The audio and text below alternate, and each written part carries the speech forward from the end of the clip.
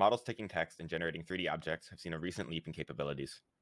But the current text to 3D user experience is slow and expensive. First, you come up with a prompt and other design parameters for the result. Then you wait for a coarse optimization stage. This takes 10 to 15 minutes and can require eight or more GPUs. Once finished, the result is rendered to see what you want to change. Then you can continue to engineer the prompt or design knobs. Then you wait again, perhaps finding another activity in the meantime. Usually, you have to repeat this until a desirable result is found. So current methods train a separate 3D model on each text prompt. Instead, we make the text to 3D pipeline real time by training one network to output models on various prompts. We do this by training offline on many setups. This reduces total training by sharing work across similar prompts. With only 30% of the time, we tune one model on all of DreamFusion's prompts. We scaled the training on thousands of prompts with even larger savings, especially when content is reused. We can also mix prompts for free, either by interpolating between or composing them. Here we show going from a frog in a sweater to a bear dressed as a lumberjack, and a set of creatures doing different activities.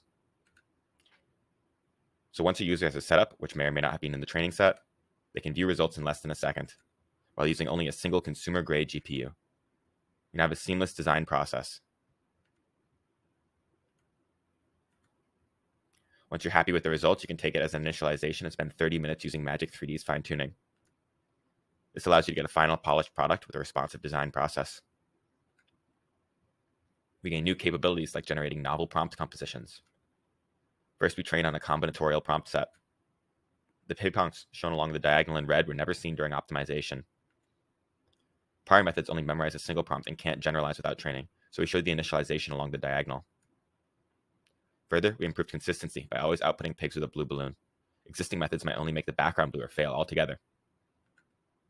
Also, we can now interpolate between text prompts to generate novel assets. For example, varied plants, characters, clothing, buildings, terrain, or even aging a baby dragon into an adult. This allows users to interactively take objects and create variants by smoothly combining them. You can generate simple animations like seasonality, going from a tree in the spring to a tree in the summer, and then in the fall, and finally to the winter.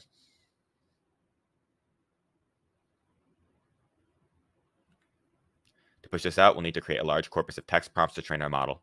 So far, we've only worked in the thousands regime, we may need architectural improvements to scale capacity because we often encounter a sensitivity to prompts and hyperparameters. And we still largely rely on qualitative inspection to assess models.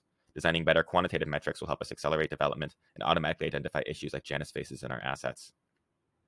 Thanks for watching.